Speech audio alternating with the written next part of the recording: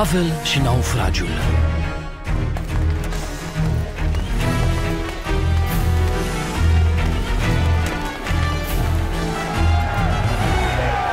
Iată omul care propovăduiește în toată lumea împotriva norodului. Spune tuturor să nu respecte legile evreilor!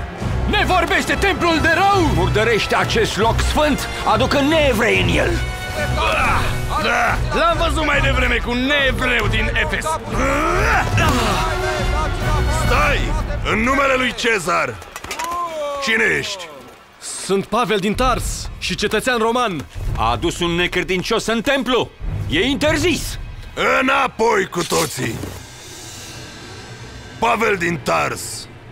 Cum se pare că tu ai început toată asta, o să te arestez pentru această revoltă. Da! Așa! O să vii cu noi! Da,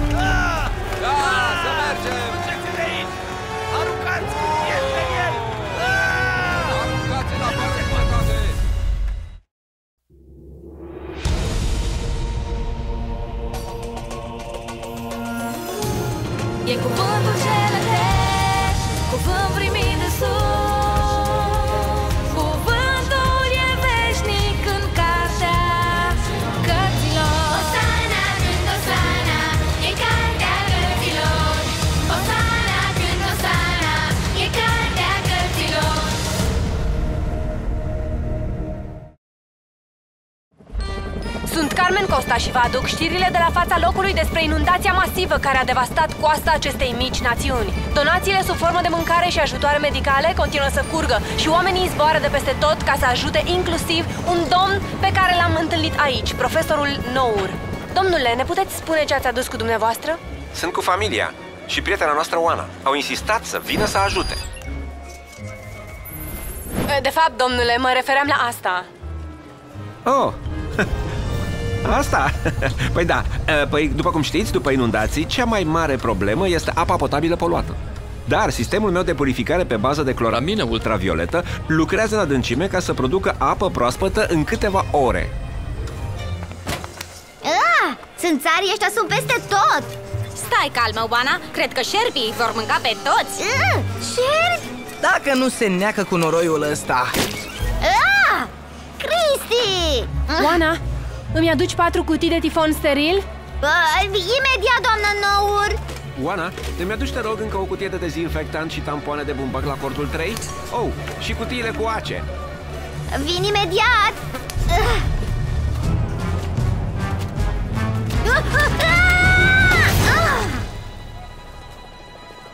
Ah! Oana, îmi aduci tifonul? Oana, te grăbești cu acele?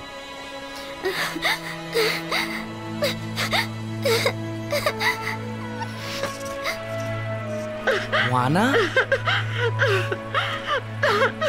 Îți curg ochii. Oh, Memo, Cristi, nu... Nu mai pot face asta! Nimic! Vreau să ajut, chiar vreau! Am simțit asta în inimă de când am auzit despre tragedie Dar gândacii și noroiul și toți acești oameni nevoiași. Ah, Nu credeam că o să fie așa de... de greu. Cartea cărților!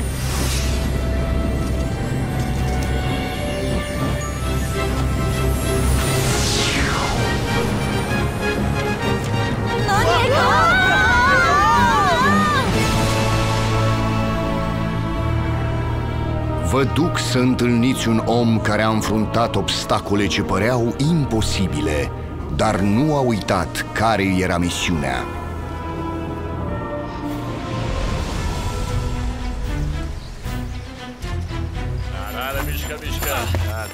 Prizonieri, stați!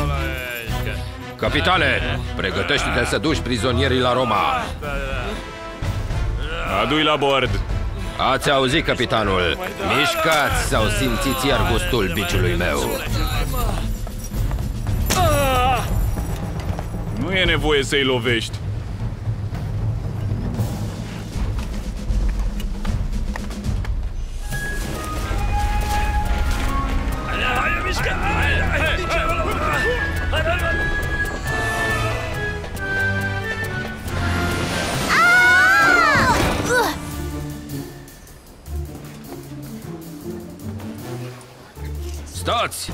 Ce faceți aici?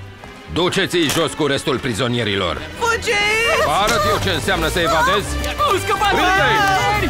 Oh, e mai bine! Aveți grijă! Prinde-i! Atenție! Haideți pe ei!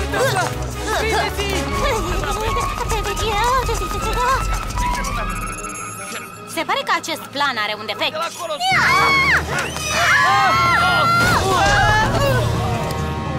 V-am prins!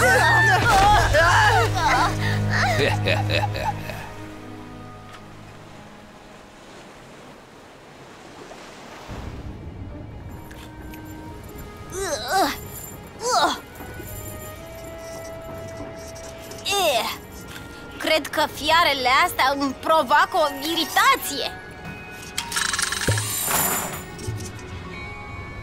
Prietenul vostru e foarte neobișnuit. O, da, sigur nu mai e altul ca el. Uh. Uh-huh. Ești bine, Oana? Ah, super! Am trecut de la țânțar, la noroi și la lanțuri într-o închisoare pe barcă Ah, viața mea este minunată!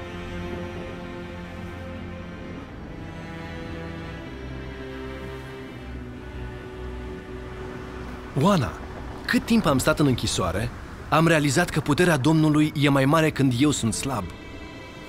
Deci, dacă tot îmi dă puterea lui, mă voi lăuda cu slăbiciunea mea. Da, simt plăcere în slăbiciuni, în defăimări, în nevoi, în prigoniri, în strâmtori dacă sunt pentru Hristos. Căci când sunt slab, atunci sunt tare.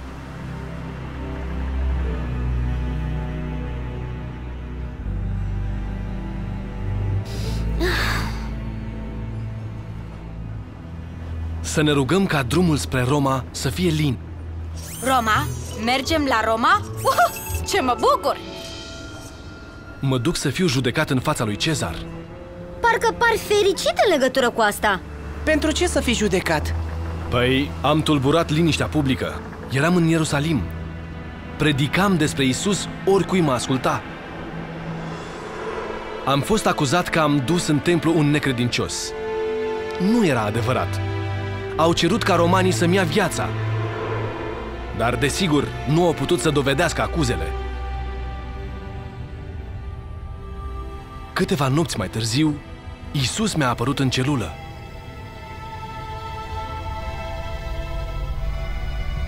Îndrăznește, Pavele, căci după cum ai mărturisit despre mine în Ierusalim, tot așa trebuie să mărturisești și în Roma.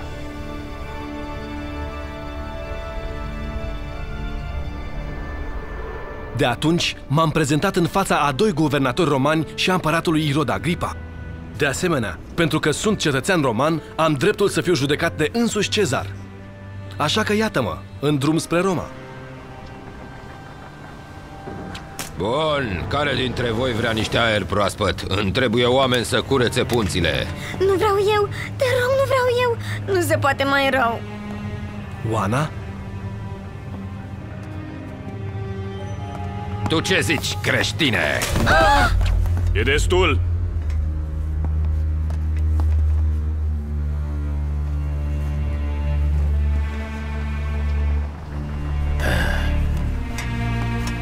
Capitane, s-ar putea oare să dezlegăm aceste lanțuri cât timp suntem pe mare? Capitane Iulius, nu poți permite acestor sclavi să spună... Dezleagă-i pe toți! N-au unde să evadeze!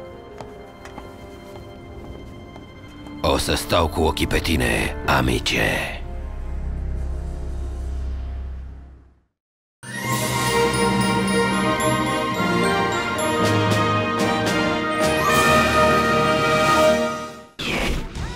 Părinți, instalați noua aplicație gratuită Cartea Cărților pentru Copii. Cei mici vor descoperi povestiri biblice pe înțelesul lor și vor învăța principii creștine prin activități interactive. Descoperiți noua aplicație gratuită Cartea Cărților. Jocuri, clipuri video, răspunsuri la întrebări și multe, multe altele. Noua aplicație mobilă Cartea Cărților pentru iOS și Android. Descarcă-o gratuit!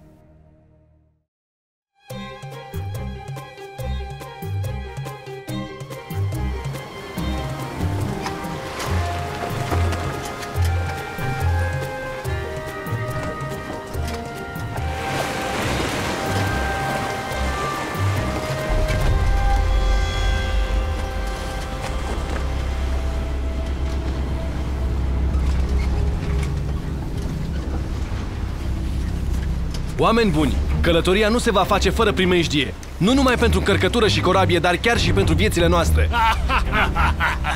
Nu știi ce tot spui acolo! Capitane, trebuie să mergem înainte. Aici nu există porturi potrivite pentru noi. E un loc greu în care să ne petrecem iarna. Cunoaștem apele astea. Ar trebui să continuăm până ajungem la Phoenix. Nu știe ce tot spuneți. Vă rog să vă răzgândiți. Trebuie să ajung la Roma în siguranță. Nu ai de ce să te îngrijorezi. Capitanul crede că echipajul său știe ce are de făcut.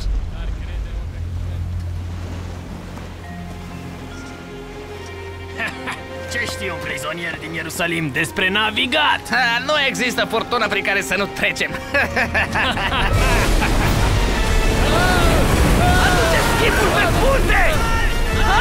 Ah, nu va rezista pe vremea asta! Mergeți spre coastă! Mergeți spre coastă!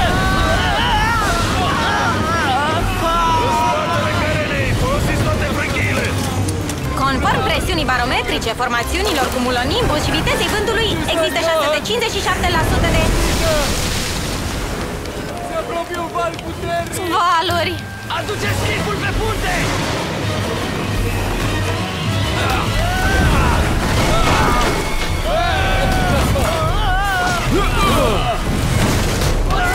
Aveți grijă! Aveți grijă acolo! Hai! Puneți mâna și trageți repede că ne spuscăm! Hai! Cu toții pe punte! Ajutați-mă! Mulțumesc! Grijă! Roagă-te Domnului tău pentru noi.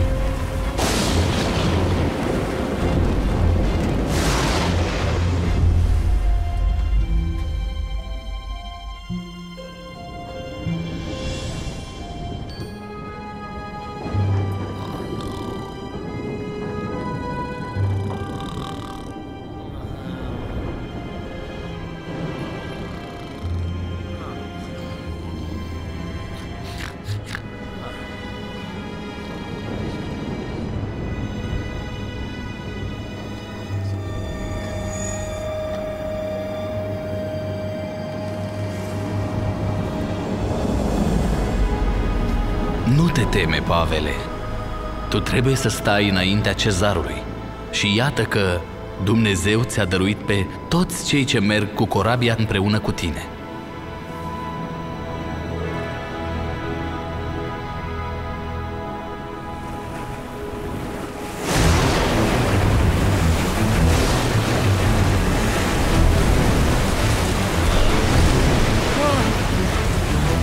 Să fim mai ușori! Aruncați încărcătura peste bord! Potolește marea asta! Bine, dar nu dați vina pe mine dacă ne trebuie mai târziu. Nu!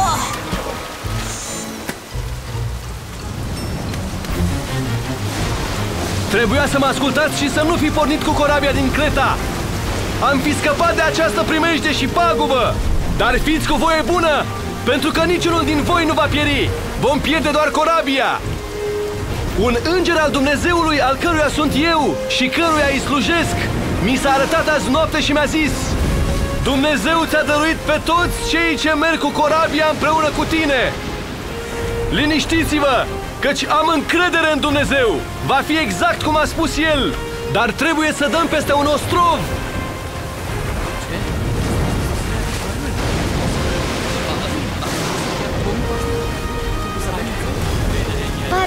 Pare așa de... Sigur, credința lui nu se clatină. Niciodată.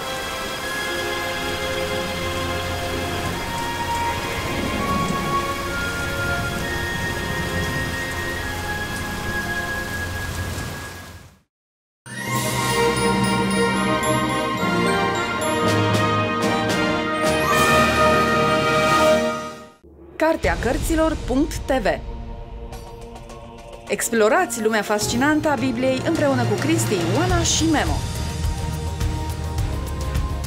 Cartea cărților.tv este un site unde copiii pot afla lucruri noi din Biblie. Creați personaje, jucați-vă și descoperiți lecții valoroase de viață. Făți cont gratuit și pornește în aventură! carteacărților.tv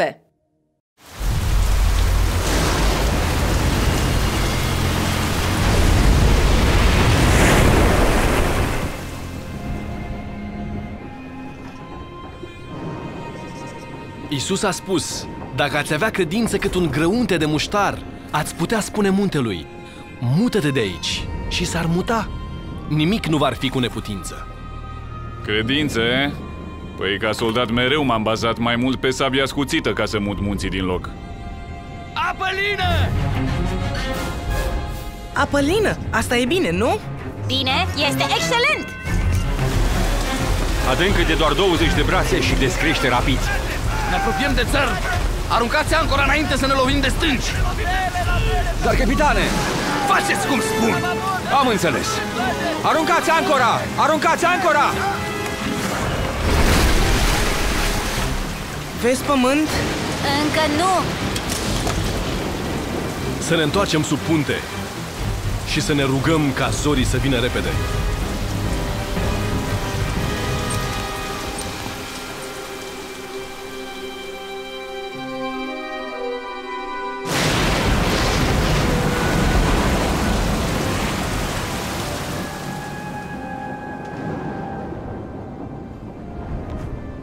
Vă rog, mâncați căci este pentru scăparea voastră.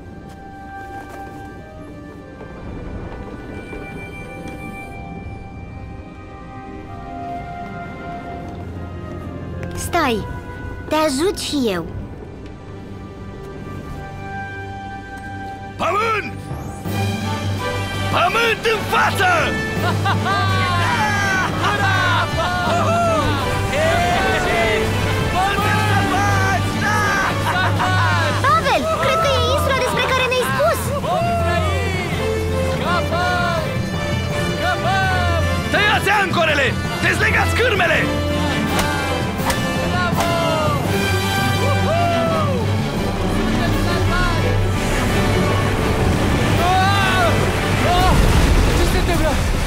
un banc de nisip!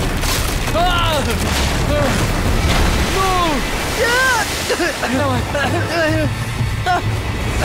Oh, nu! Corabia se dezmembrează!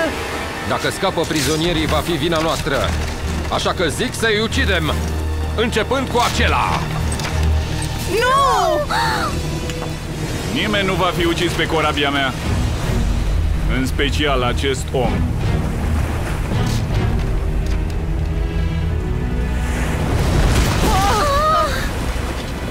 Bine, cine știe să înnoate, să sară în apă și să se îndrepte către țărm. Cei care nu știu, luați orice găsiți și începeți să văzliți. Sigur că da! Haideți sus! Uh,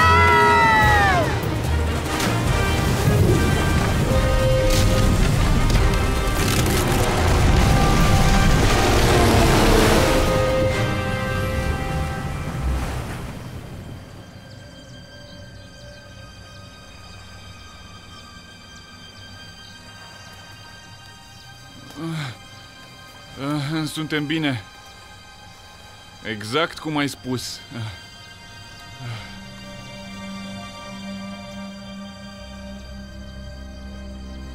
Pavel, crezi că oricine poate fi acceptat de Domnul tău? Isus îi primește pe toți care îl caută. Conform informațiilor mele, suntem pe insula Malta, la patru zile depărtare de Roma. Uh, prieteni, se pare că avem musafiri.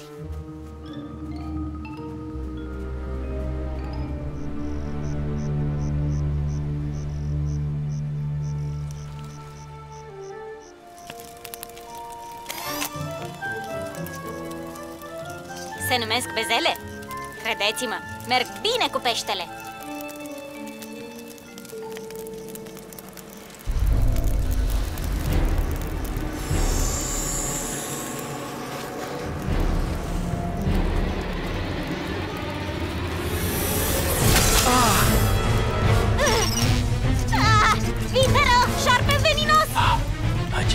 Sigur este un criminal, care deși a scăpat de marea învolburată, dreptatea nu-l lasă să scape.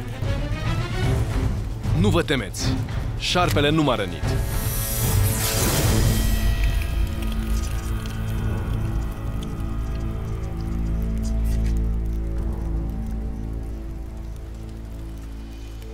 Este imposibil. Înseamnă că tu ești un zeu? Eu sunt doar mesagerul singurului Dumnezeu. Mă îndrept spre Roma ca să vorbesc despre el. Domnul tău e foarte puternic. Poate îl ajută pe tatăl liderului nostru. Este bătrân și foarte bolnav.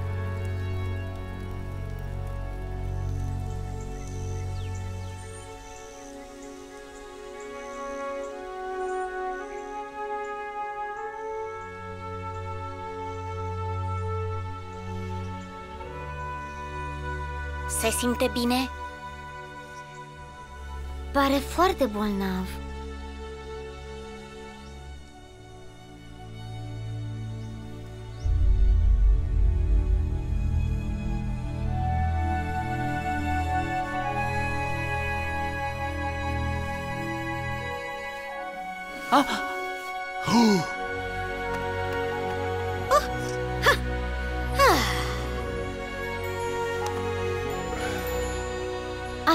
Vindecat. Mi-ai salvat, tatăl. Nu știu cum să-ți mulțumesc. Poate că nu ești un zeu, dar tu ești omul lui Dumnezeu. Peste trei luni aici oprește o corabie în drumul ei spre Roma. Și dacă asta îți dorești, îți promit că vei fi pe corabia aceea. Între timp, vei fi oaspete la mine în casă. Mulțumesc pentru bunătate. Pavel, nu înțeleg. De ce mergi la Roma? De ce nu rămâi în Malta? Acești oameni te iubesc. Dar la Roma? Îți mulțumesc pentru grijă, Oana. Isus mi-a spus că trebuie să mărturisesc la Roma. Și asta am de gând să fac.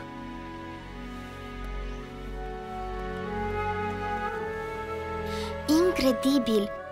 Prin câte a trecut Pavel Răscoală, închisoare, naufragiul acela a fost mușcat de un șarpe Se pare că nimic nu-l poate opri din misiunea lui Și eu mă plângeam de niște țânțari și de niște noroi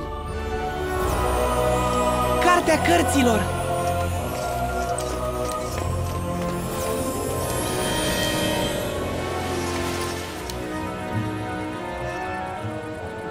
Deci, unde rămăsesem?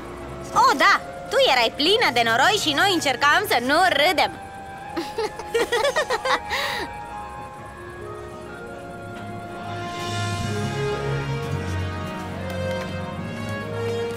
Înapoi la muncă, a? Asta înseamnă că nu este așa greu cum credeai. Mm, Nu, tot e greu Dar cred că domnul vrea să o fac. Și cu asta basta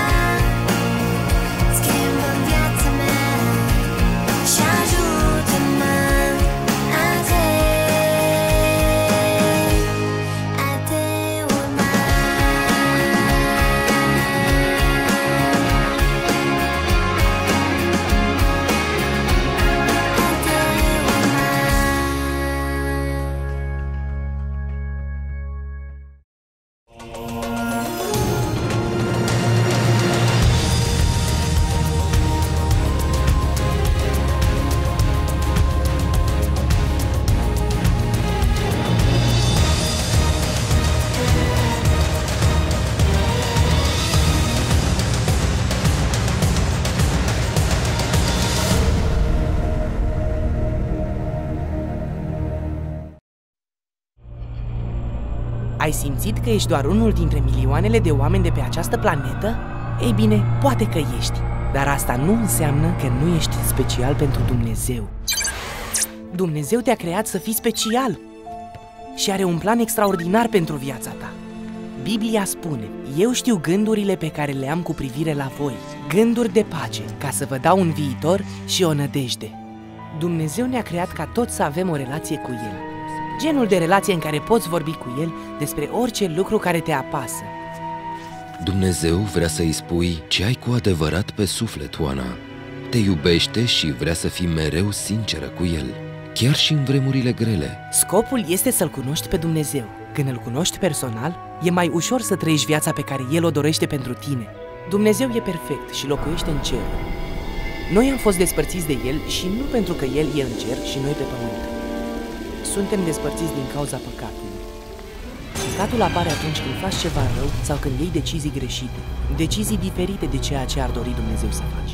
Dumnezeu știa că singura modalitate de a ne reconecta cu El era să-L trimită pe singurul Lui Fiu să ne mântuiască. Căci Fiul omului nu a venit ca să piardă sufletele, ci ca să le mântuiască.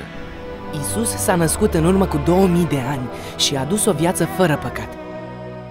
A arătat multă dragoste, a vindecat bolnavii și a vorbit despre adevărul și înțelepciunea lui Dumnezeu multor oameni. Datorită vieții lui curate, Isus a putut să repare relația noastră cu Dumnezeu. Biblia spune, Dumnezeu își arată dragostea lui față de noi prin faptul că pe când eram noi încă păcătoși, Hristos a murit pentru noi. Isus ne-a iubit atât de mult încât a murit pe cruce pentru păcatul nostru și a înviat a treia zi.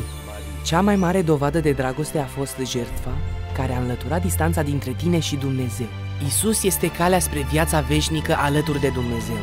Dacă îl accepti pe Isus ca mântuitor, relația ta cu Dumnezeu începe de acum, de pe pământ. Biblia spune că dacă îl mărturisești cu gura ta pe Isus ca Domn și dacă crezi în inima ta că Dumnezeu l-a înviat din morți, vei fi mântuit. Pentru a începe această relație cu Dumnezeu, trebuie să crezi în inima ta și să spui că Isus este Domnul vieții tale. Doamne, Tu știi totul.